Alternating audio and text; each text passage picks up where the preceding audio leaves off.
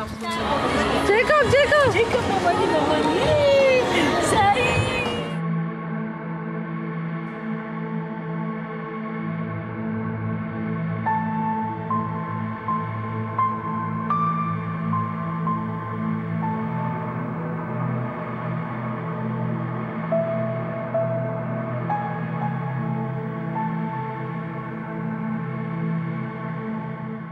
Religious persecution is a situation where your life is literally put in jeopardy simply because of what you believe or what you might want to share in your faith, and your life's at risk.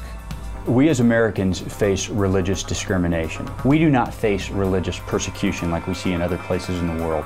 The level of persecution is on the rise. It's being reported more, we're seeing it, and we can see the imagery, we can see the brutality. There's an element of violence or physical harm. Persecution in other countries is very different. It's a matter of life and death. We're talking about situations where people are put in jail, threatened with death or life imprisonment simply because of who they are and what they believe. Don't even use the word persecution. I use the term religious cleansing now because it's the eradication of the entire Christian presence in country after country. Every successive movement is becoming more vicious, more barbaric, and more savage than the previous one. People are being killed because of their faith, brutally murdered because of their faith, being sold into slavery because of their faith. There's a much larger issue here. For the last five or six years, there's been tremendous persecution, almost a genocide. Now we're seeing, of course, the rise of Islamic extremism. They're out to cause total death and destruction. There's religious persecution all over right. that country, but they're most harsh on people who turn away from Islam. We have to be cognizant of the fact that globally, persecution is as alive and well as it has ever been. These techniques, these tactics, this brutality is not new. It's just now in our living rooms, and we're seeing it in our own nations. There are six Jews left in the whole of Iraq. It was the biggest Jewish community in the Middle East, and now we have six. It's like it's, uh, it's open season on Christians basically killing infidels so they can go and get their reward. Level of brutality is hitting a point that you, you, didn't see before. It used to be people get arrested, they may even be executed. But now being burned alive, uh, it's, it seems medieval, uh, but it's happening in 2014 and it's getting worse. This is a global attack and civilians are the targets.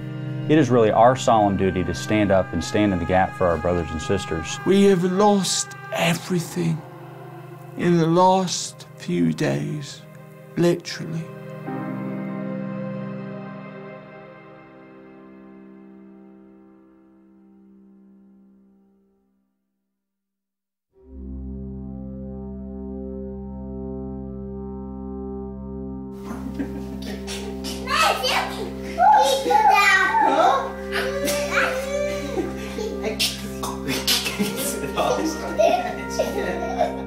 Became a believer in 2000. Soon after that, he started house churches, underground churches. He was arrested uh, by the intelligence police and he was told as long as he discontinued any house church movement, um, that they would allow him to freely move back and forth uh, into Iran, see his family, his parents, his siblings. One of the intel intelligence police even suggested, why don't you do humanitarian efforts?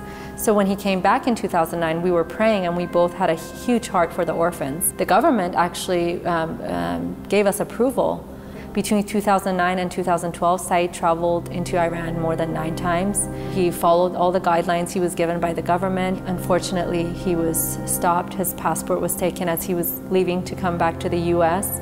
He was under house arrest for two months.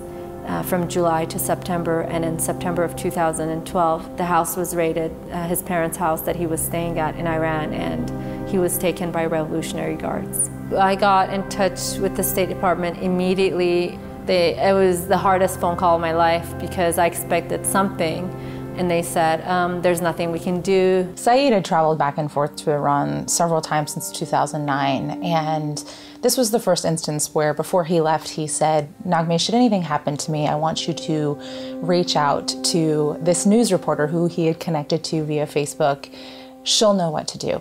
Lisa Daftari, who's been great on Saeed's case, called my cell phone and said, Tiffany, I don't know who else to give this client to you except for the ACLJ. Would you be willing to talk to her? So I immediately called and said, This is what's happened. We don't know where he is. We're on the phone with Naghmeh Abedini, his wife, uh, here in the United States. We started working on his situation within 24 hours of his arrest. By the time Saeed was returned home and put under house arrest, we represented Saeed internationally. From that moment, of course, it's a highly intense situation. We step in both as, as advocates, somebody who can step in, removed from the emotion, to be able to provide objectivity to what is a situation that's very hard to have clarity in when it's one of your family members who's been taken or missing. It was also her Christian counselor who sat and prayed with her through a very difficult time. I don't know if people realize how crucial ACLJ was in our life. I believe it was God's um, provision that ACLJ had already dealt with um, legal issues in Iran. They already knew a lot of the legal system, a lot of the, they had, were very familiar with, with the Iranian system, the court. Saeed Abedini's case was not the first case, not the first apostasy case, not the first death penalty case we handled. We handled the case for another Iranian, Yusef Nadarkhani. Pastor Yusef Nadarkhani was an Iranian, uh, is an Iranian Christian pastor, and he was in prison because of his work as a Christian, the house churches uh, that these Christians are involved in. And it's questionable, even under Iranian law, if that's even uh, illegal. There are a number of Christians imprisoned in Iran only because of their faith. They came to us because he was in a dire situation. They're not attorneys, so this a smaller ministry said, "Can you help?" Can you do something? He's on death row. Uh, he's been given a death sentence, so not just a prison sentence, but a death sentence. Is there anything you can do? And so we launched an international campaign. A Christian pastor in Iran imprisoned for nearly three years, facing a death sentence because of his Christian faith. July 8, 2012 marked the 1000th day of captivity for Christian pastor Yusef Nadarkhani, facing execution for simply becoming a Christian. When Iranian officials demanded that he recant his faith in Jesus Christ or die, he responded with two words I cannot. It is vital to keep Pastor Yusef in the spotlight and the pressure on Iran. At the American Center for Law and Justice, we are doing all that we can in this country and abroad to secure his freedom. Our Tweet for Yusef campaign reaches more than 2.2 million Twitter accounts daily, spanning the globe, connecting 200 countries around the world, calling attention to the plight of Pastor Yusef. We also know the importance of the power of prayer, and so does Pastor Yusef. In a letter he released from prison not long ago, he specifically thanked everyone who has, quote, asked for my release or campaigns and human rights activities which are going on against the charges which are applied to me, end quote. He also had one simple request pray for me, he wrote.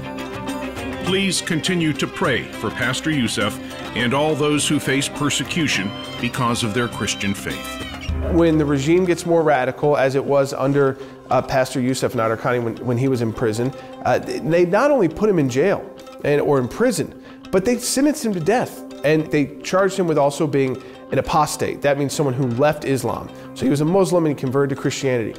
In his trial, his death penalty trial, this is how much it is about religion and nothing else, and about faith and nothing else. They gave him three opportunities to renounce his faith, and he would have walked out.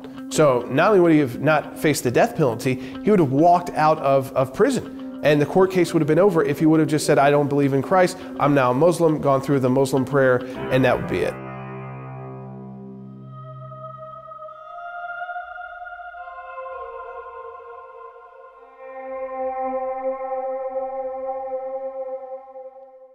Canon Andrew White is a great hero of mine. He um, created a church, uh, St. George's, um, in Baghdad with the remnants of the Christian community there and established clinics and other aid programs to help them and to help the few remaining Jews and to help Muslims in the area. And things have been very difficult recently. There's been a major increase in violence. A lot of our people have started fleeing again because they feel under attack and they are being attacked. And another problem is that a lot of our people who fled before to Syria are now fleeing back. And we've had to help these people who've come, come back with absolutely nothing No money, no house, no food. So we're having to do a lot for them as well. He has a love for these Iraqi Christians that is sincere, it is real, and it's deep. But he also has a love for the Jewish people in the state of Israel. So it's this unique blend that makes Andrew White really who he is. Our church has grown from literally nothing when we opened it. The only signs of life was some pigeons flying around. And that the church developed to be a church of six and a half thousand people. We had a school, an incredible clinic, and a hospital, all full medical facilities. We did everything, and we still do. And then a few years ago, things started getting bad. He is um, a very tall uh, presence there, a big presence. Um, he's a charismatic person, and he's from the West. So he is a very much a target, and so is his congregations. He's a reconciliation guy. He's someone that works with others to come into common ground. Until a month ago, none of us knew what the Islamic State even stood for. We did not know ISIS. We lived together, Christians and Muslims. We helped each other, we cared for each other. And suddenly this group appears. This group who wants to slaughter all of our people, who want to murder them, massacre them, remove them from their homeland. ISIS has destroyed the Christian community inside Iraq. It's an unbelievable reign of terror that has been unleashed on the Christians of Iraq. All I can do is say, I won't leave you. Because I know for many of those people, if they don't leave, they will probably be killed. We need people to realize that this is such an extreme form of terrorist activity that what we have worked for and achieved is just being banished overnight.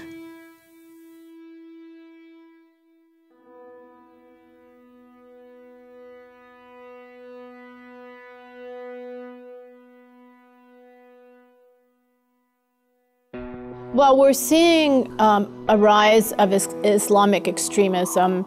This is not only happening in Iraq, but also in Pakistan, Sudan, northern Nigeria, Somalia. The entire church communities, Christian communities, wiped out in places like Syria and Iraq. Where that's our history, that's our heritage. Those are the places we point to as the birthplace of, of Christianity as we know it. And they want to eradicate our history there. So they want to not just kill the people, they want to destroy the buildings. You see that right now in the Middle East, especially in the Middle East, but also in Africa, Northern Africa particularly, where people are literally being hung because of their faith. And of course, if you take a situation with a group like ISIS, being beheaded, crucified, simply because they're Christians and will not forcibly be converted to another religion, in that particular case, Islam. Uh, you know, the situation in Iraq, this is one of the most robust Christian communities left in the Middle East. They fled because they were targeted by various jihadi groups. There are more Iraqi Christians now in Chicago than there are in the whole of Iraq. ISIS's purpose is to establish a global caliphate, putting everyone under Sharia Islamic law, with no exceptions.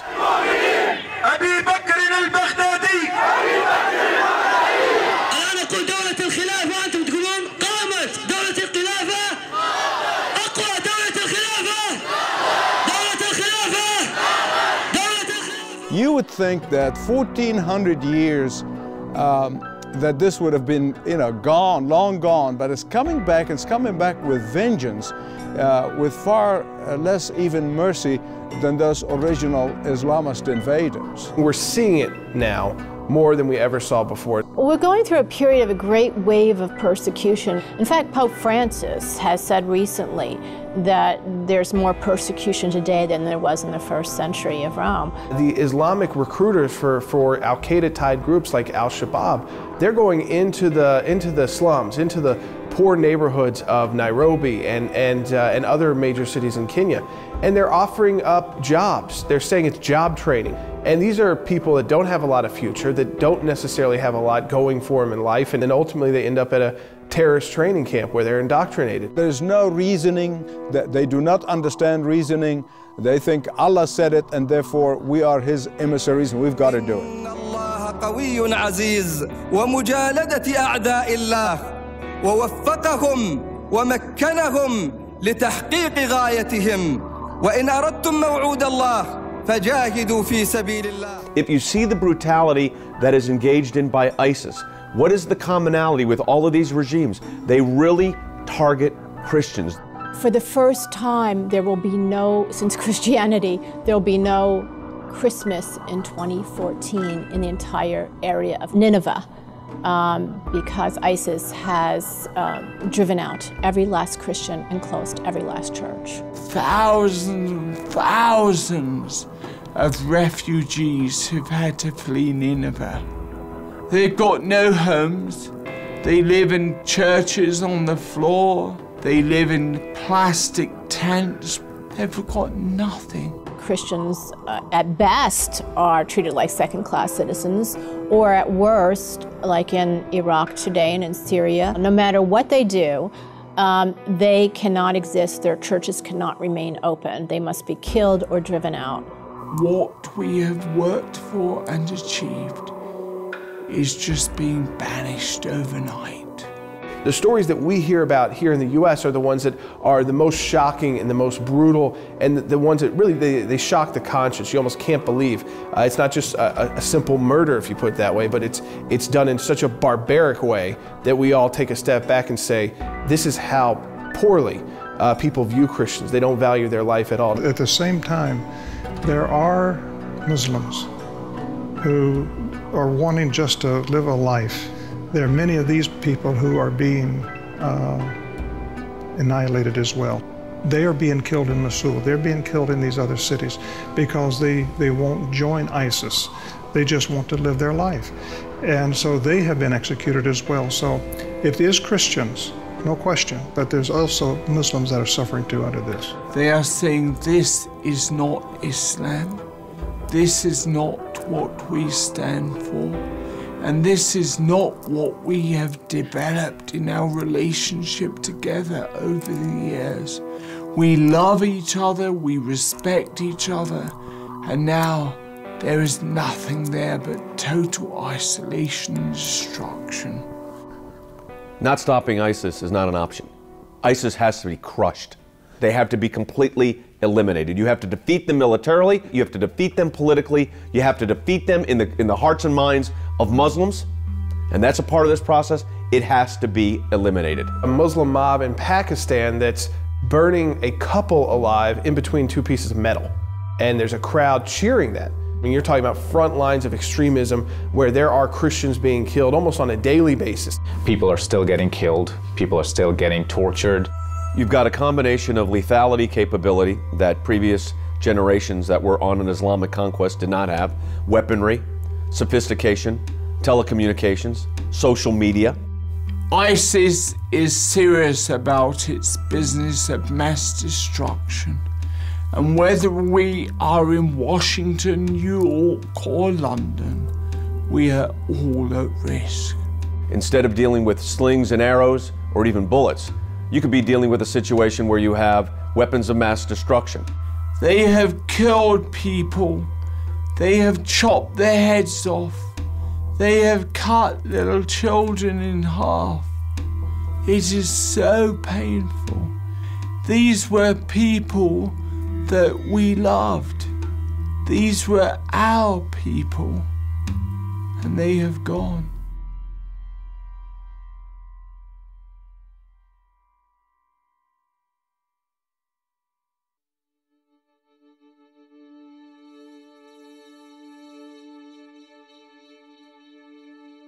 The United States is the strongest government in the world. We have the best military in the world. We have the best intelligence in the world. If you put our intelligence capabilities together with our allies and really determine who our allies are, there is no doubt we have the capability to stop this and end it. When the U.S. speaks, the world listens, even if it's a, an enemy of the United States, like a North Korea. The world has to pay attention. We, I think, have a very important role. We, we finance, we do so much foreign funding, billions of dollars a year is going out from the United States to these countries. And that's what, why I think we have to make decisions ultimately very soon in the future. How much are we going to let these countries get away with persecuting people uh, before we say we're going to cut your funding off? You know, many governments are self conscious about their human rights records. Not all, but, but many are. And that's important to use that um, spotlight, shining the spotlight to show the injustice of these governments. But then you ask a question so, who are our allies? Turkey's a member of NATO, yet the greatest funnel for people leaving Europe to join with ISIS, they flow right through Turkey. I think the U.S. government can play a very important role uh, with uh, these cases in Pakistan because Pakistan and, uh, and the United States are allies. We all know that money has strings attached, so maybe let's put another string to it and say, let's release these people, these people who are accused, of, falsely accused of, uh, of the uh, blasphemy, uh, blasphemy cases, and they're spending their lives in prison. So I think it's important that the U.S. government brings up uh, these issues with, with the Pakistani government. We give billions of dollars of aid to Pakistan. Turkey is a NATO partner. But what are we getting in return for this? Nothing. Let's start exercising the power of the purse. This is the perfect time for the United States to put conditions, human right conditions, on our aid. If you support terror, if you give a safe haven to terror, if you are aiding and abetting a terrorist, you don't get U.S. aid, period.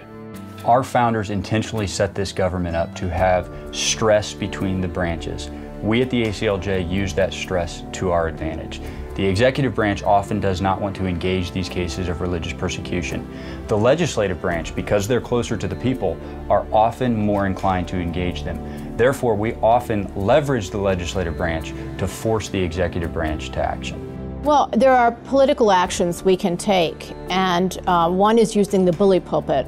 Our president, our Secretary of State, should be raising these cases every time they have an opportunity. In order to make a difference in some cases, we need people who are free from religious persecution to advocate for those who are not. And this is, this is why the tie between America and the rest of the world is so important.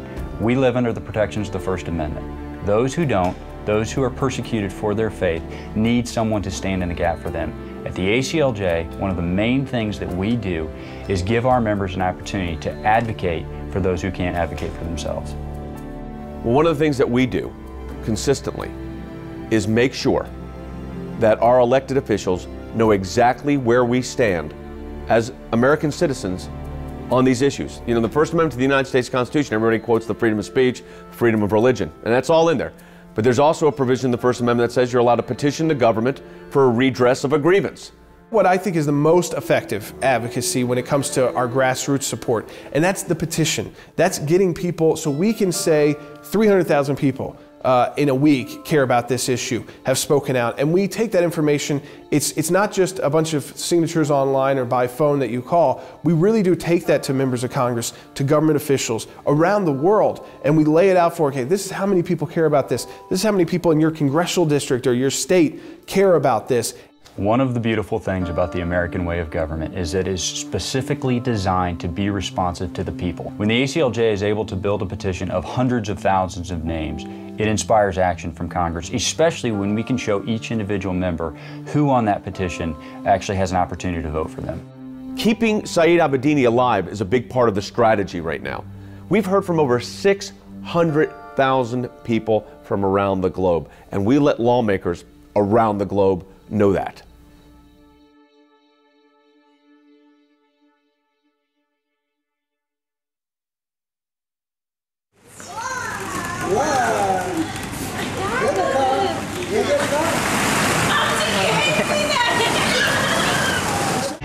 But first, our world lead a man in prison who may feel as if he's forgotten, but he has not been forgotten by his friends and family. But hopefully, he's also not been forgotten by his government. Has the president been kept uh, apprised of his situation? I don't have a statement. I'll have to take the question. You know, the president is obviously updated on a variety of issues with regards to Iran, but I don't have anything specific for you on that. There's always a reaction that you kind of say when you hear about something like this, like Saeed's situation, and you, you get involved in it, and he's, made, you know, he's been arrested and put under house arrest for being a Christian. You want to kind of jump, and you have this reactionary feeling that okay, I, need to jump to the news. I need to tell the news.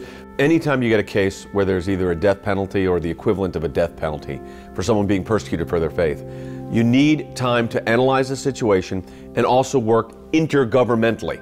In other words, we needed to find out what the United States State Department in Saeed Abedini's case, what they were willing to do. How far would the State Department go in seeking his release? What international agencies they would bring to bear on his situation? That takes time. Timing is very important in all of these cases. Saeed's situation, we really did wait as long as possible to try and get it resolved before going public. And what, we have a balance. The balance is this Is it going to put them at more risk by going public?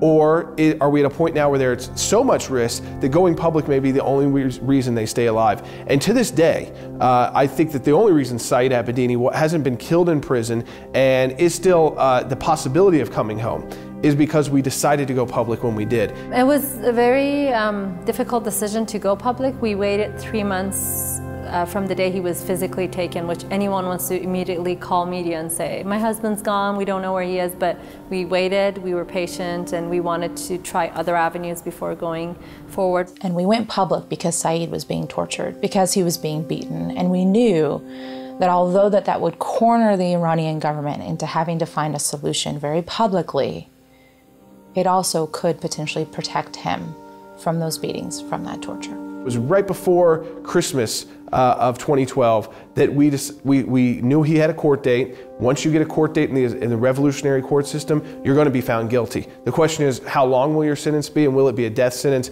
and what happens next? So we knew we had to go public. And welcome back to Hannity. A 32-year-old American pastor, the Reverend Saeed Abedini, has been detained by one of Iran's most notorious prisons since late September for charges that have not been made public, other than the fact that he is a convert Christian. Concerns are growing for an American pastor who remains locked up inside an Iranian prison. His alleged crime? He's a Christian. Well, for Christmas, this should be the most joyous time of the year, but one American family is spending the season fighting to get a pastor freed from prison. 32 year old Reverend Saeed Abedini. Jay, not very different from what we see happening. Coptic Christians are being persecuted in Egypt. Right.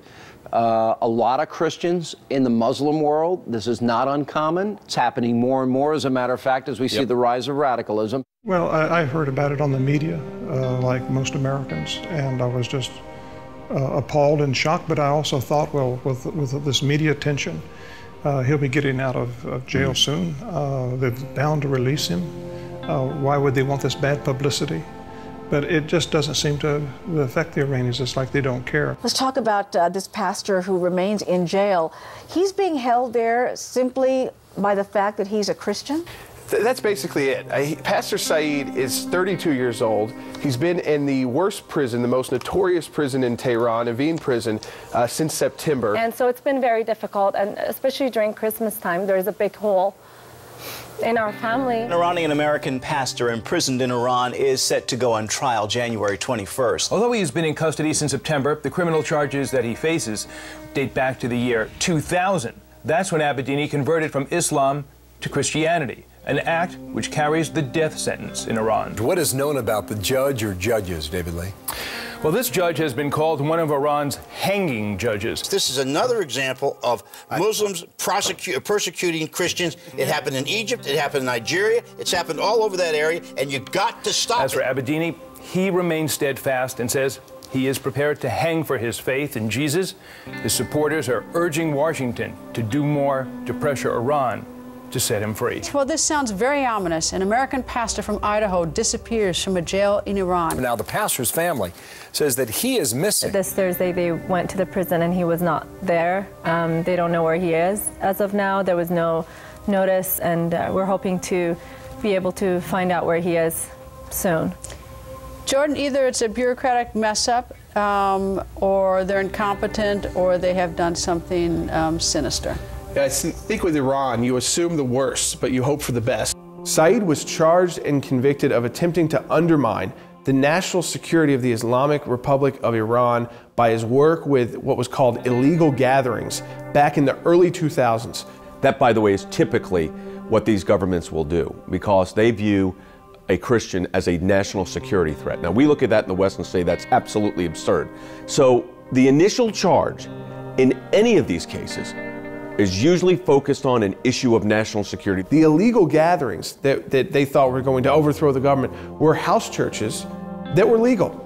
He had no legal problems then, you know. So over a decade ago, he wasn't getting arrested there. He wasn't getting in trouble. He was a convert from Islam and had a Christian wedding in Iran that was government uh, government okayed. It got the you know normal government approval for a wedding. The family ultimately left Iran and, and, returned back to Naghmeh's home in the United States. But but his charge and his his conviction is being a national security threat to Iran. And and the act there, what he did to become that national security threat, was being a Christian.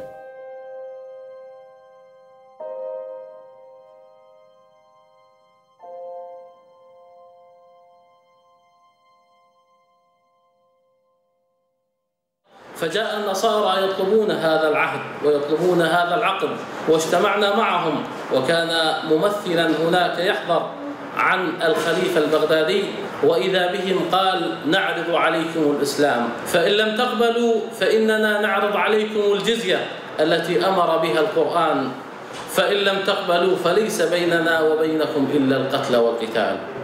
وإذا بهم يقولون نريد الجزية. والله ما آذيناهم والله ما هجرناهم The word jizya is different from the word dara'ib. Dara'ib means taxes. Jizya means punishment or penalty. And it, it is only applied to Jews and Christians, whom they call the people of the book. Number one, you can pay a tax. But these people have no money, so they can't pay the tax. Number two, you can convert. You could leave your faith in Christianity or whatever the particular religion is, convert to Islam, and that will keep you alive. Or three, you'll be executed. That may be by hanging, being, being shot, by being crucified, by being beheaded. They tend to go for beheadings because they use that as a recruiting tool. And there are not really many options here because these people don't have money to pay a tax and live in peace. There was a, a, certain amount of protection, even from Assad in Syria. There's been a certain amount of protection for minorities, even the Jewish community. Right. But uh, now, uh, with, with uh, Saddam Hussein gone, uh, with uh, the war in, in uh, we see in Syria, there is no protection anymore. These people you cannot deal with. They will not talk with you. There is nothing you can reasonably achieve. You can only survive. You can only function by the supernatural power of God. You can give a person a chance to recant, uh, and if they do, they could be forgiven. But if they refuse to recant, then they're to be executed. And we see this happen in the Middle East where, where people have come to faith in Christ, and it's the duty of the family uh, to force them to recant. If they don't, then the family executes them. And we have seen a number of cases that over the years. In many Muslim countries today, uh, where there are minorities, Christian, uh, Jewish, um, minorities, um, even women um, who are not minorities, are treated like second class citizens under Islamic law. Um, they, their testimony is, le- is worth less or weighted less than a Muslim man's in a court. Muslims have a voice in a court proceeding that is elevated much higher than any other faith. In fact, many other faiths, including Christianity, it's hard to get them in trial. We have to take international efforts to get these cases in trial. And then you put on top of that, in Asia Bibi's case, a female. Well, that's even a lower rung. Um, they do not, do not have the same rights or guarantees of property. Um, in Iran, the Baha'is and the Christians can be shut out of jobs. The Baha'is have no rights at all. In fact, if anyone takes their property or murders them, they're not even prosecuted. If someone accuses you of saying something against the prophet, which could be as benign in Western context as saying Jesus is the true prophet, that's blasphemy. The penalty is death. A Pakistani court is upholding the death sentence for Asia Bibi, the Christian woman accused of blaspheming the Prophet Muhammad. Asia Bibi, 45 years old and mother of five, is the first woman to be condemned to death under Pakistan's blasphemy laws. She insulted the Prophet Muhammad, her accusers say. That was enough for the local cleric to demand the police lock her up and put her on trial. Grief and agony of two young girls who wait to see if the Pakistani government will execute their jailed mother.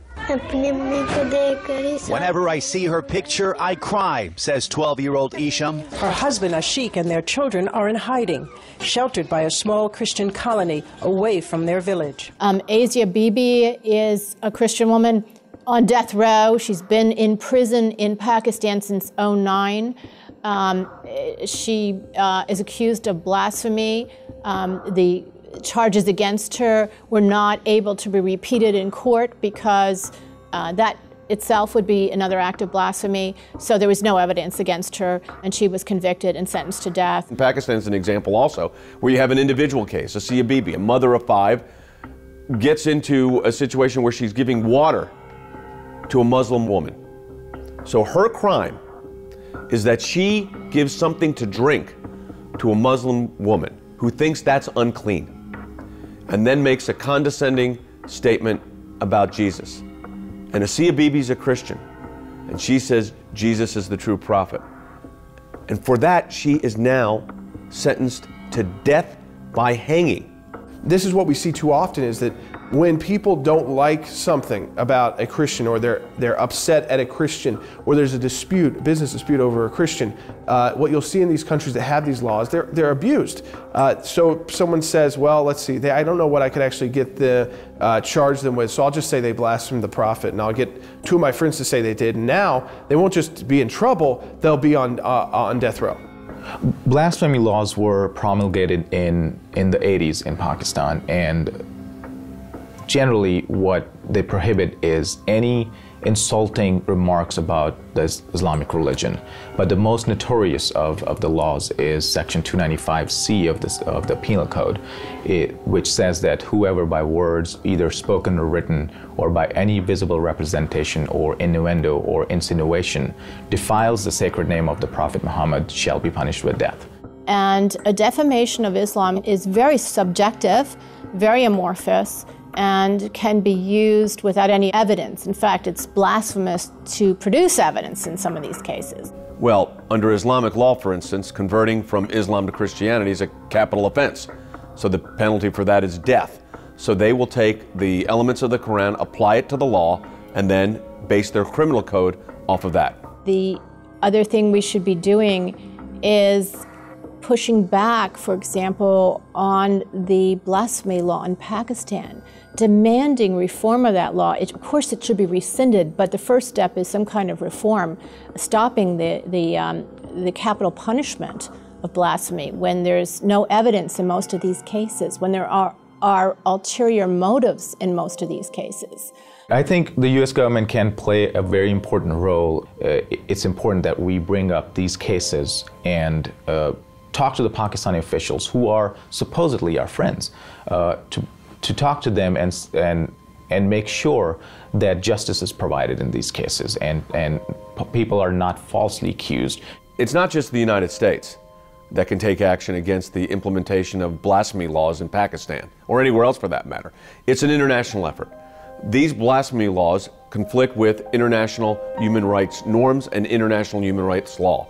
And the governments around the world need to insist that when a government signs a treaty or signs onto a declaration of human rights, that those human rights are fulfilled. It seems like reform for, for the blasphemy law in Pakistan cannot come from within. Those who try get murdered. So they need a strong voice like the United States to speak, to push back, to speak up and say this is an injustice.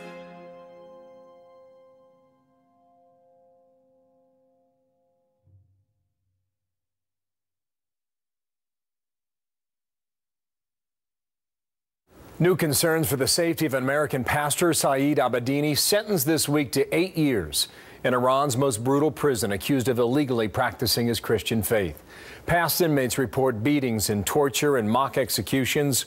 One of those inmates was Marina Nemat. What is it like inside? It's um, living hell. Upon arrival, they blindfold you, then they take you for interrogation. They ask you a few questions, then they never like the answers that you give. Then they take you to the torture room, they tie you up, and they torture you. Case is completely bogus, but once again, the U.S. State Department and the president seem powerless. So, where's the Obama administration? Where's the UN? Where's the State Department? The Obama administration needs to come out publicly. Why is the White House not more involved in this case? I think it's outrageous what we've seen from the State Department so far. We're not seeing a more uh, aggressive action from our government, I, and I hope that to see more of that, and not just from our government, but all over the world, because it, this is a violation of his human rights, and Iran is violating that right, and Iran needs to be accountable to that. In a letter to his wife, he said he had been beaten. Maybe you ask, what is the secret of being so happy in such a hard situation? Forgiveness and a change of attitude. When we forgive, we become free and we become messengers of peace and reconciliation and goodness. He also talks about not receiving medical treatment for the internal bleeding that he's suffered from beatings. Are you concerned that he will not survive his prison sentence? Yes, very much. Every day is a, is a battle, a survival battle, and that's why we've been fighting to get them out as soon as possible. Uh, we found out over the weekend we were asked to uh, participate, as well as Naghmeh Abedini, Pastor Saeed's wife, in a hearing before the Tom Lantos Human Rights Commission, which is completely bipartisan in the House of Representatives. Many of the members of this commission, including the two co-chairs, were part of the bipartisan letter last month to Secretary Kerry asking him to do more. So this is not a Republican Democrat issue, but instead really Congress and the who's doing uh, everything they can, but the administration who's been ignoring them. So we're going to actually be able to testify to present Saeed's case to the House of Representatives, to the the commission, and also the State Department's been invited to participate. So they will also be there and subject to the questioning of these members of Congress who have asked for more. What is really significant when you've got an individual who is facing a death penalty or life imprisonment in these prisons in these countries, which is effectively a death penalty, is to bring the facts of their case to bear and show the human side of what the real consequences of inaction on our government's behalf would result in. And that's what you do at congressional hearings. Uh, the hearing will begin. I want to thank all of you for being here today to discuss the worsening plight of religious minorities in Iran. Just by way of example, Naghmeh Abedini got to appear before the Tom Lantos Human Rights Commission to advocate for her husband's freedom.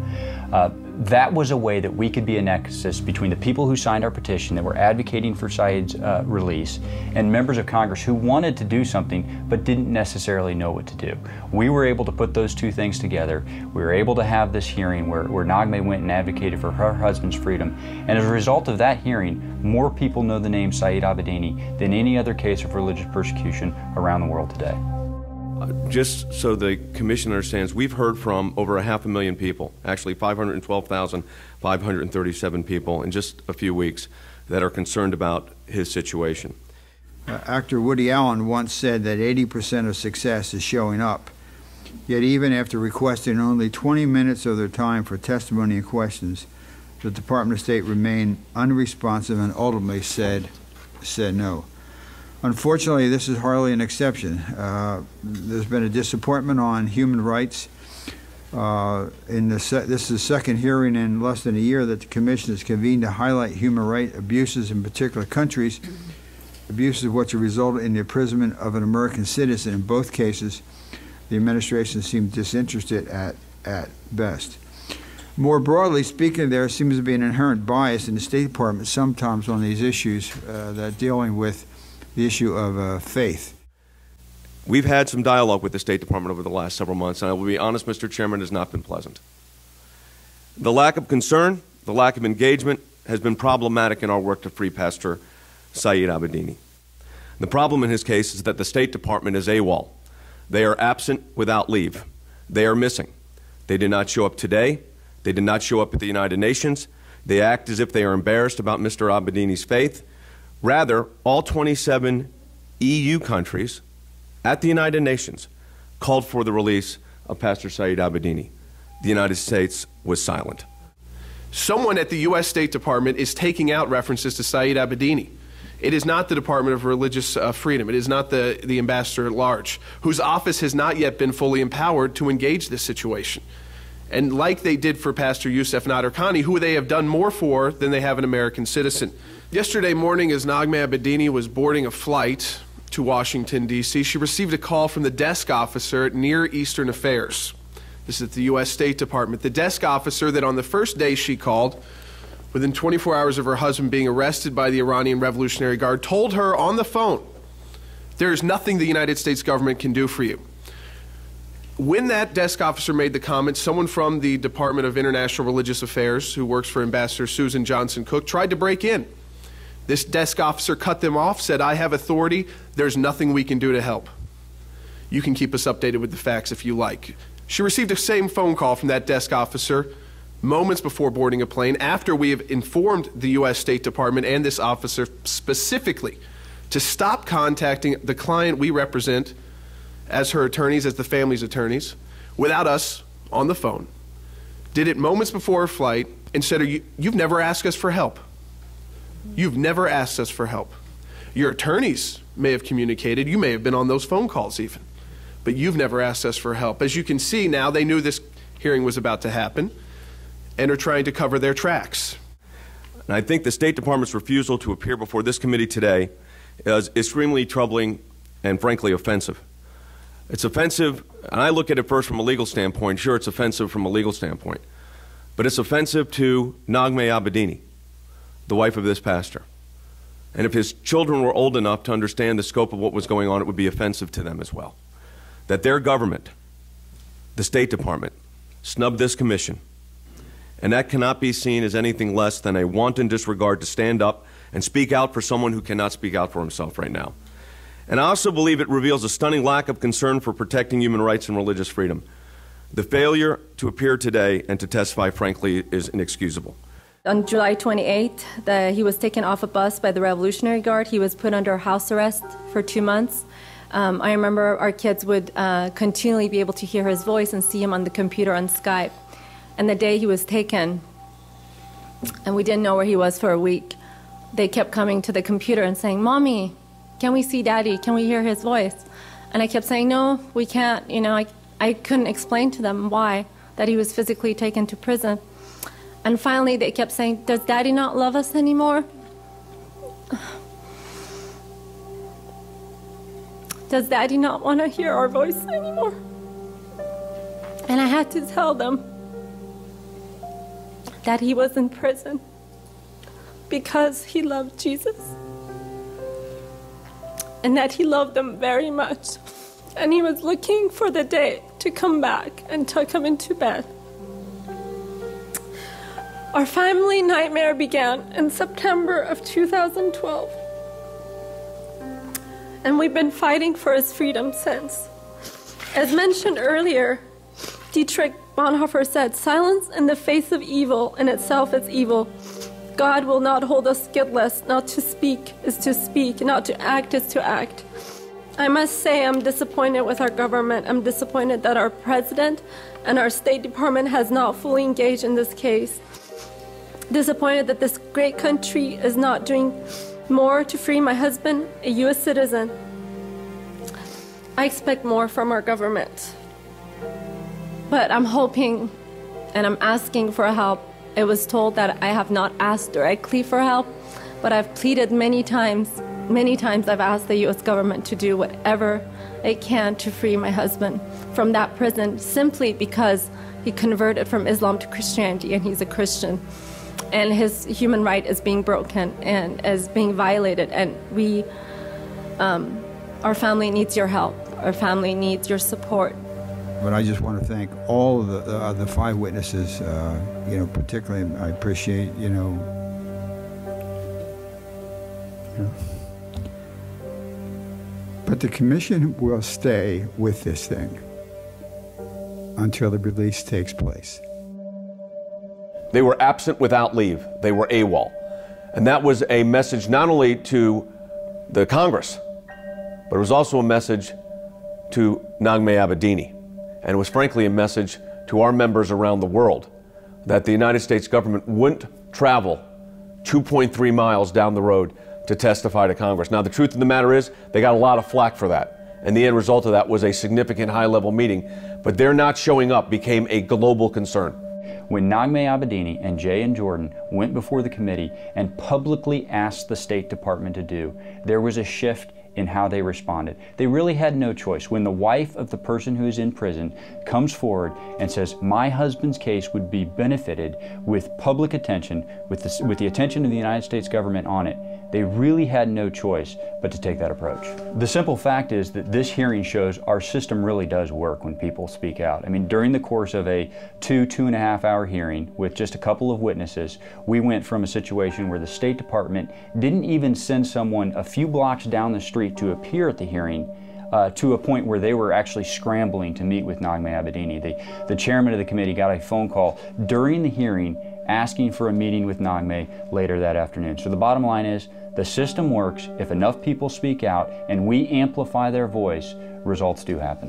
What I went in there to do was tell the State Department, we're playing for keeps here. Now, when they ask a family member of Saeed Abedini to do something, fill out a form, then when he goes to fill out that form in Iran, his penalty is not $50 if you don't fill out the form correctly under penalty of perjury. It could be the death penalty himself. So they were asking ridiculous and unnecessary activities from family members. And that's what I had to stop. I had to get a focus in that meeting as to what the government should be concentrating on. And that was asking for his release. But it was a good meeting. Ambassador Cook is going to be personally involved from here on, and uh, the Bureau of DLR has assured us that they're going to be working on the case, which has not been the case in the past. So that's a big victory, and we're going to hold them to it. Ultimately, that led to bigger things. That led to eventually, they may not showed up at the congressional hearing, but ultimately, President Obama was making remarks about it. Secretary of State John Kerry was making remarks about it. So ultimately, they did start speaking out. You had the President of the United States in the first phone call with a senior representative of Iran, in that particular case, a direct call with the President of Iran, and President Obama asked for the release of Saeed Abedini. John Kerry called for the release of Saeed Abedini by name. So at that point, I think it's fair to say that our meeting with the State Department gave direct results. Now, it has not been the end result, which is getting him free, but it, had, it did bring about a change of position and a public advocacy now, not just by us, but by the United States government. We pray for Pastor Saeed Abedini. He's been held in Iran for more than 18 months sentenced to eight years in prison on charges relating to his Christian beliefs. And as we continue to work for his freedom today, again, we call on the Iranian government to release Pastor Abedini so he can return to the loving arms of his wife and children in Idaho.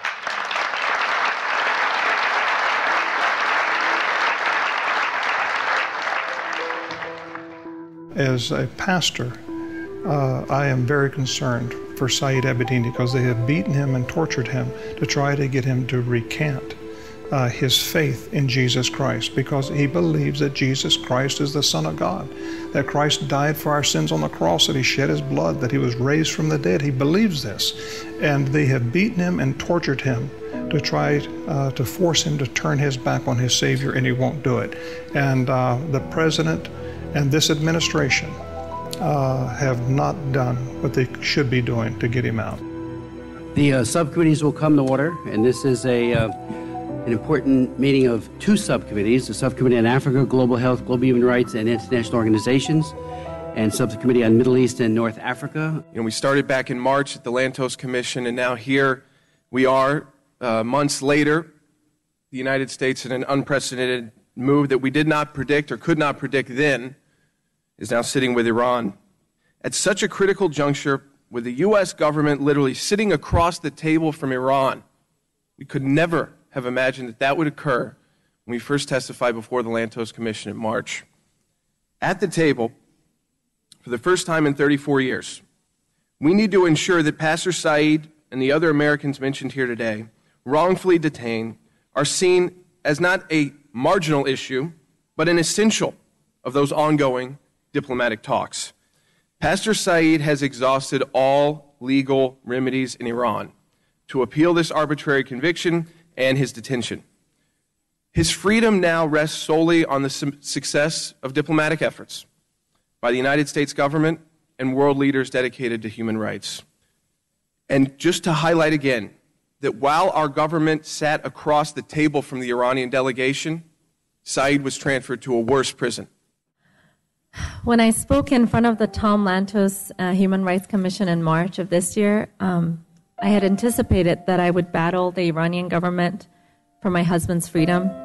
I never anticipated that I would also ha- have to battle my own government and that the journey would become even much more difficult than it has it had been. His parents, when they visit him in prison, they say that when they hold the um, pictures of the kids in front of him, he just cries. And he wrote in a letter, he said, It is so hard and so heartbreaking for me, to, for me to see these pictures and to know that I'm not there beside you as you grow. I came here to help the kids that did not have mommies and daddies, but my own kids lost their daddy. This breaks my heart so much. I want you to know that I did not want to put so much pressure on your little shoulders, my precious children. Abedini, thank you so very much for those powerful words. Uh, and that testimony is, is just, um, I think it causes every one of us to redouble our efforts and, and do everything possible to ensure that your husband is released immediately. so thank you so very much. And a lot of times when there was a different table and this room was different and the table was here, our dad used to be here swinging us in circles. And that was our favorite, that's our favorite part. Well, we, me and my brother and my dad were in, in the playroom at November 11, 2009. And we were just taking pictures there, and Jacob was one years old and I was three. My favorite page is this one because my dad's holding me, and it's been a long time since he did. Today marks a day of both sorrow and hope. Sorrow for the two years that Pastor Saeed Abedini has languished in an Iranian prison, and hope for his release. Two years. That's how long U.S. citizen Saeed Abedini has been imprisoned in Iran. Saeed's only crime? His Christian faith.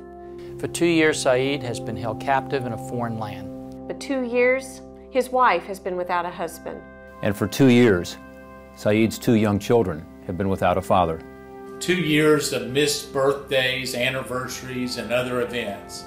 I ask all of you to join me today in calling again for Saeed's release and safe return home. There's absolutely nothing that's going to bring those two years back to Saeed's family. There is nothing that will bring those two years back. But enough is enough. Enough is enough. It's time to bring Saeed Abedini home. This injustice has continued for far too long. It's time. It's time. It's time. It's time. It's time. It's time. It's time. It's time. It's time. It's time. It's time.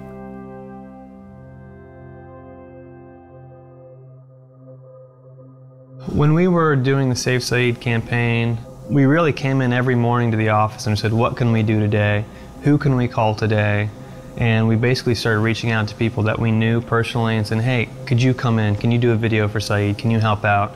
Can you tweet for Saeed? Can you uh, post on your f- social media for Saeed? And what we found is we found a great group of individuals who had large social uh, outreach, thousands and thousands of Twitter followers, thousands of Facebook followers, and they were all coming in and willing to lend their voice for Saeed. Your signature could save a life. Save Saeed. Save Saeed. Save Saeed. Would you please save Saeed? Save Saeed. Sign our petition at What we saw was we had so many people that wanted to get involved. We had so many people that cared about this story that we eventually grew that petition to over 600,000 names. Um, every day we would come in and the number would just keep rolling and keep rolling, and we saw how passionate people were about this story. And that's when we knew that we needed to start Be Heard Project. That's when we knew that we needed a specific place to amplify these stories and get them out there on social media.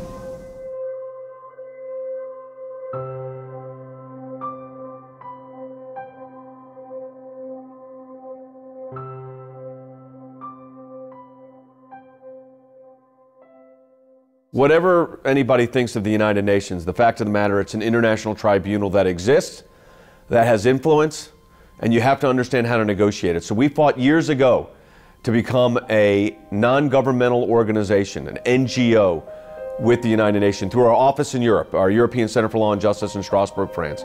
And we did that at the time dealing with issues of what I would call religious discrimination. And then, of course, when the religious persecution issues developed really since 9 11 at this significance, they've always been there, but at this significance, we were able to utilize our status to become advocates at the UN. And we've made multiple interventions on multiple cases with multiple lawyers from multiple countries. The ECLJ would like to bring to the Council's attention the ongoing human rights violation by the Islamic Republic of Iran in the case of Saeed Abedini, who is currently imprisoned for peaceful private expression of his religion. Saeed was arrested and during his visit in Iran to build a government-endorsed orphanage.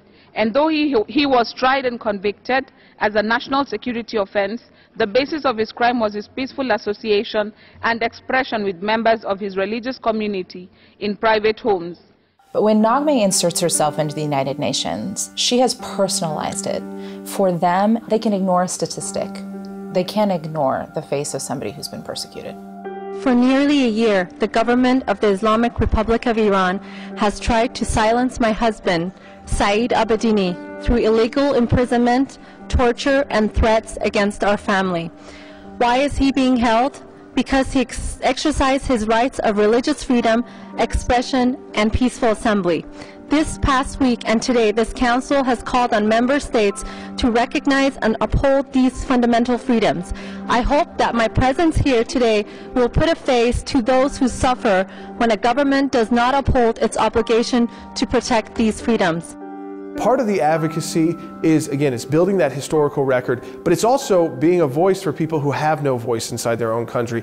And then what we can do as a size of uh, organization like we are at the ACLJ, with the voices we're able to put together, we, when we combine all of our voices and everybody out there who joins our petitions and signs on, shares that with their friends and family and talks about it in church, we can take a government who is not used to having to deal with a strong Christian community like Iran or Sudan or you know the list goes on Pakistan. And suddenly it's not just their Christian community now it's the whole world. So it's a multi-pronged attack. I mean when you're talking about advocacy we have media advocacy. You use radio television. There's social media advocacy which is becoming huge. Facebook Twitter other forms of social advocacy social media advocacy.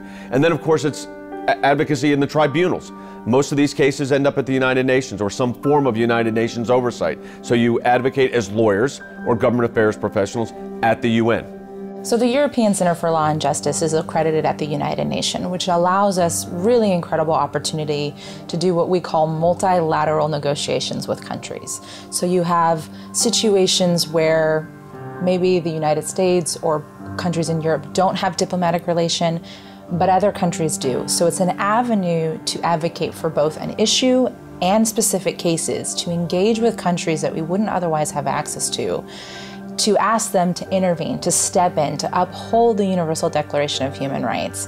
Um, it's a very invaluable opportunity, one that not everyone gets. At the ACLJ, we always try to engage these cases in a number of ways. Two of the ones that are the most important, of course, the legal side. That's what we do best. We are legal advocates uh, for these victims of religious persecution. Saeed Abedini, we legally represent the Abedini family in all matters that pertain to the case. But there's another component of this. There's telling the story. At the ACLJ, we try to merge those two things. Signing petitions is a huge thing because you get attention to a cause when you can say we have 600,000 people we've heard from. Now that what that does allows us to amplify their voice. So it's not just one person speaking in Iowa. It's 600,000 people speaking literally from coast to coast and sometimes from around the globe.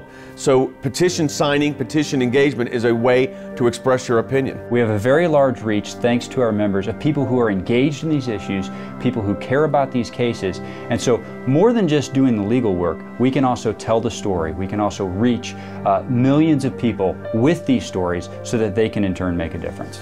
But we've also encouraged people to talk directly with their members of Congress, directly with their members of the United States Senate, with government leaders. We've asked them to call the White House, these are the things you do. We also do briefs. So when we file an intervention at the United Nations, we will say we're representing 300,000 people or 600,000 people, and that has a big impact. Petitions are very important, especially um, to motivate governments to move. And that speaks very powerfully to our government, both at the congressional level the, and the executive level with our State Department. In all of these cases, there's a role for us to play. In the case of Saeed Abedini, we represent the Abedini family. In some of these other cases, like Miriam Ibrahim, we do not represent the family, and yet there's a role for us to play. We have raised the visibility of Miriam's case, and the result in that case was a very good one. In the case of Saeed Abedini, there are others who have come alongside us and assisted us as we represent the Abedini family. So no matter the case, there is always a role for each of us to play. And if we're going to achieve results, we've got to make sure that all of us are stepping up and doing doing what we can. Our leaders need to be continuously putting the names of these imprisoned Christians who are peaceable people, they didn't cause any problems in their society, are imprisoned because of their faith, because of their religious beliefs. Our leaders need to be keeping their names before uh, the American people and before the world and before the leaders of Iran and other countries. In Sudan, a court has sentenced a woman to death for renouncing Islam. The woman was convicted under Sudan's barbaric Sharia law. It forbids women from marrying non Muslim men. Human rights groups in Western countries, including the U.S., all condemning the sentencing. Miriam Yahia Ibrahim, seen here on her wedding photo, was sentenced to death for apostasy because she married a Christian. Ibrahim also has a 20 month old son who stays with her in her prison cell. The court gave Miriam an opportunity to recant her Christian faith, but Ibrahim refused to do so, reportedly telling the court, I am a Christian and I will remain a Christian. Well, this is barbaric. There's no other way to describe it. And, uh, and the crime that uh, she's principally accused of is apostasy. That is to say, leaving Islam and refusing to come back. In America, we call switching religions freedom of religion. Uh, and it just demonstrates the risk when uh, Sharia law is implemented uh, to the fullest extent. The court also ordered that Ibrahim be given 100 lashes for committing zina, Arabic for illegitimate sex for having sexual relations with her Christian husband, Daniel Wani. Wani is a U.S. citizen. There's a huge failure in, on behalf of the United States. The husband, Daniel, had even been trying to get a visa for his wife and child to come to the U.S. prior to this. And there were many complications, and it still hasn't been processed. If there is any good news, it is that there is still time to save Miriam's life. Also developing tonight, a big victory for religious freedom. Miriam Ibrahim, the Sudanese woman sentenced to death for being a Christian, is free and even got a blessing from the Pope. The Italian and U.S. governments reportedly working to free the new mother and fly her to safety in Rome last night. You know, with Miriam Ibrahim's situation, it was clear Sudan is a definitely it's a country that supports a lot of terrorism. The U.S. has had a very uh, a difficult relationship with Sudan because of their support of terrorism around the world. We're not practicing law in Sudan. Uh, we're not talking to our lawyers in Sudan because it doesn't work that way with some of these governments. So, how you work a case when you're not directly representing them or directly in contact with their lawyers is you bring a light to it. You do it through issue advocacy in the media, you do it through governmental advocacy. These are human rights cases. So, it's the world's case. It's not necessarily one person's case. So when people ask you why, uh, you know, with Miriam Ibrahim's situation, what could you do? Well, we, we weren't the lawyers. We don't have an office in Sudan. Uh, we weren't the lawyers on the ground, but we were able to bring hundreds of thousands of people to that story in international outcry, not just from America, but international outcry.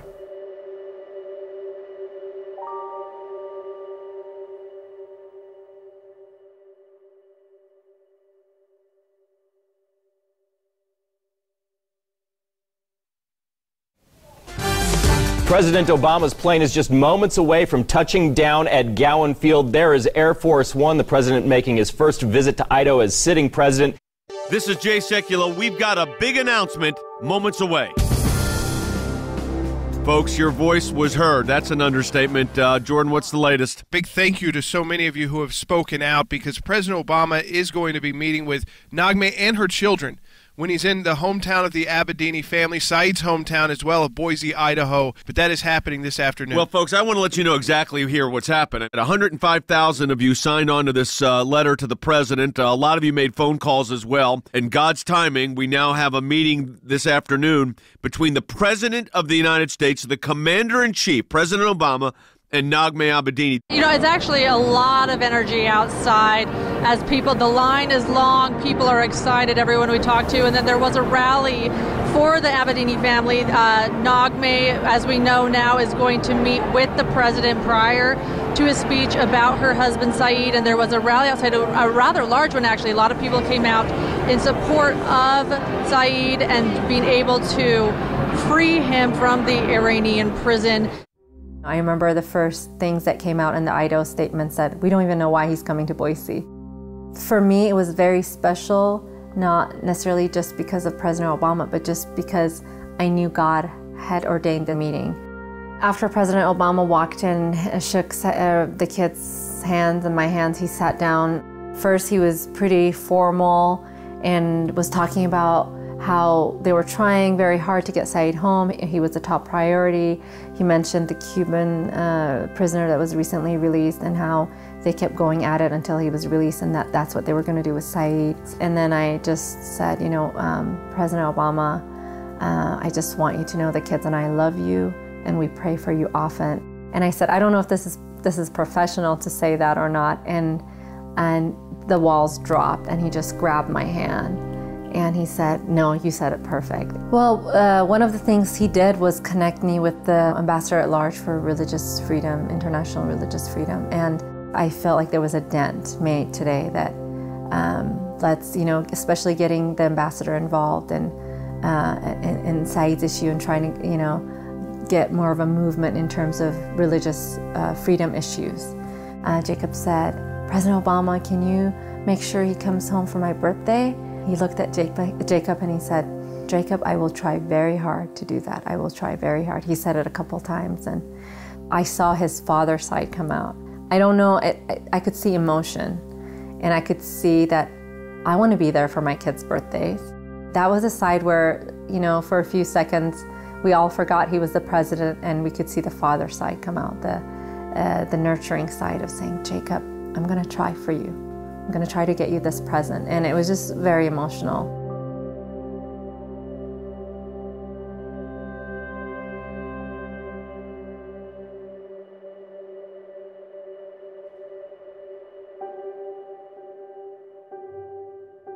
Religious persecution thrives in darkness the hope for turning around the tide of religious persecution around the world uh, really lies in opening the eyes of the American people who are free, who are free from religious persecution, to the plight of their brothers and sisters around the world. That will shed light on this very serious problem, and just the presence of light is going to make religious persecution diminish. Hope will begin to materialize when there's less corruption and less religious fanaticism. The only really hope uh, for us, and we know it, uh, the, the secular world does not understand it, is for many of these people come to Christ.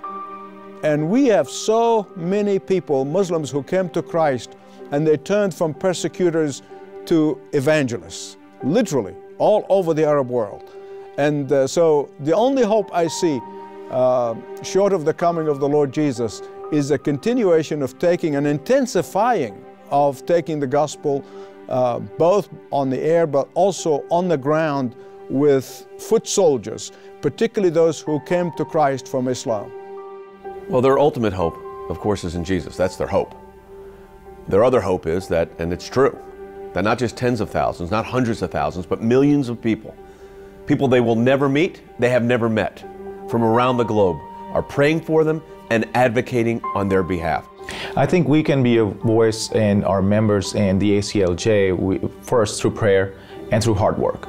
Uh, we have seen results in these cases. Uh, we have been successful, and and again, it's the voice that we need because these people cannot speak for, the, for themselves. So they need somebody who who speaks for them with a prayerful and uh, voice and and hard work.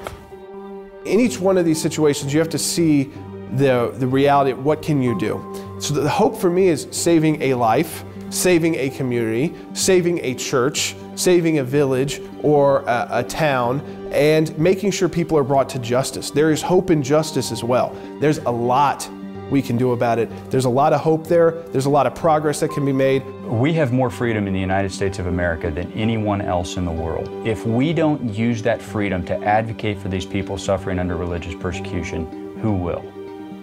Well, we have no guarantee that persecution's going to diminish. In fact, Jesus said the opposite. He said they will persecute you. So, our job, though, our legal job, is to try to eradicate that. That doesn't mean we're going to be successful in every case. We won't be successful in every case. But our job is to demand that international law is followed, that human rights laws are followed, that these governments are held accountable, and governments we're supporting are held accountable so that they can't just freehand persecute people that they disagree with because they happen to be Christians. I really do believe that stemming the tide of religious persecution, the hope for stemming that tide, lies in opening the eyes of the American people, raising their awareness of the fact that of, of just how prevalent this is around the world, and making it a priority for them. If we do that, if our generation, if the American people have their eyes open to this problem, they will continue to talk about it, they will continue to engage, they will continue to advocate, and as a result, we're going to win more victories than ever before. I love him. And when he comes back, I'll be super, super, super, super. I'll be the various, various, various happy person in the world. And never, maybe, never stop being happy.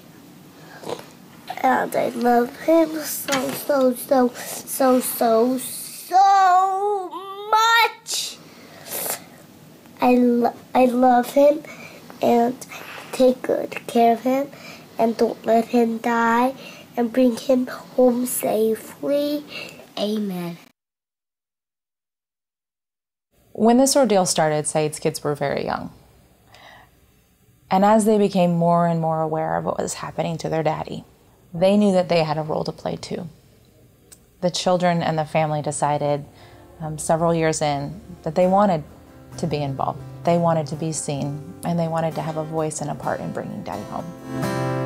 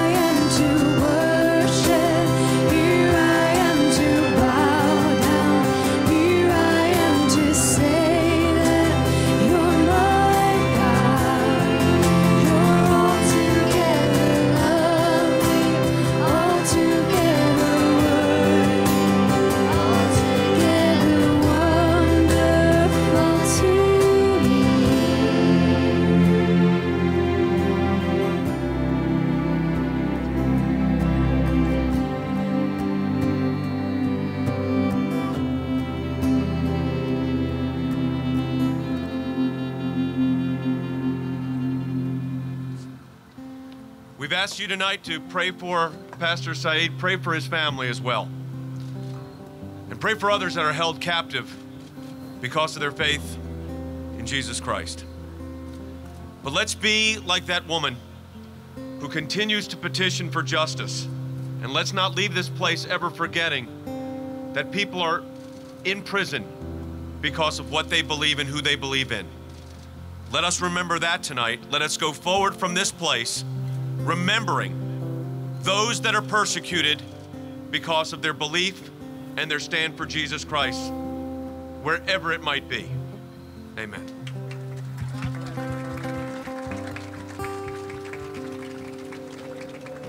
As Americans, we live in a land where these freedoms are not challenged in the way that we see them being challenged all over the rest of the world. In our freedom and what we stand for, the fact that our country was founded on the principle of religious freedom almost obligates us as Americans to be the voice for those who don't have a voice. To be honest with you, it is so painful. It drives me to tears every day. And I think I can only do it because our Lord is there helping me, encouraging me, keeping me moving forward. And we will not stop. We had the loveliest people I've ever met. And we're going to keep going. And we're going to keep serving everybody, keep loving everybody. It's the throngs of millions speaking out for those that can't speak out for themselves that really makes the difference at the end of the day. And what I really want to get across to the Christians around the world is don't forget us. We're your brothers and sisters. I say to you, please don't leave us. We need you. Uh, I know who writes the last pages of history. And I know that the Lord Jesus Christ, He comes back for His church. I know that He's going to come back and He's going to judge one day. And uh, this world, every knee is going to bow, every tongue one day will confess Jesus Christ is Lord. And I want them to know that Christ died for them, that He was shed His blood, He was buried, but He rose triumphantly from the grave. He's not in the grave, He's alive, and He can come into their heart, and they can be changed for eternity. My hope is built on nothing less than Jesus' faith and righteousness. Our hope is in our Lord, who is the God of hope.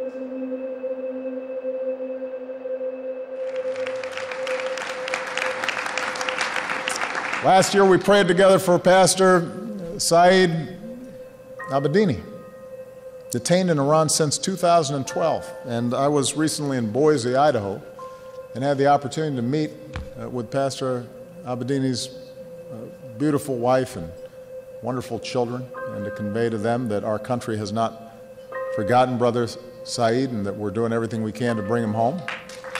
And then I received an extraordinary letter from Pastor Abedini. And in it, he describes his captivity and expressed his gratitude for my visit with his family and thanked us all for standing in solidarity with him during his captivity. And Pastor Abedini wrote, Nothing is more valuable to the body of Christ than to see how the Lord is in control and moves ahead of countries and leadership through united prayer. And he closed his letter by describing himself as prisoner for Christ, who is proud to be part of this great nation, the United States of America, that cares for religious freedom around the world. And we're going to keep up this work for Pastor Abedini and all those around the world who are unjustly held or persecuted because of their faith.